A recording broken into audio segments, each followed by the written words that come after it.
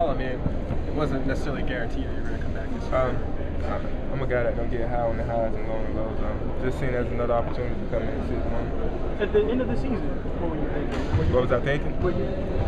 I was upset, you know, we didn't win the championship. Uh, just wanted to come back and get better, you know, whether if it was here or anywhere else. But until I signed anywhere else, I was still a Celtic. Do you think you'll get more of a chance this year with guys like Tony Allen not around? Um, that's my plan, you know, come in and take advantage of whatever the situation may be. on a personal level, were you disappointed in your season last, last year with the injuries? Um, I've been through a lot, so um, I, was, I was able to deal with it a lot easier, you know, injuries here and there, so hopefully I can avoid those this year.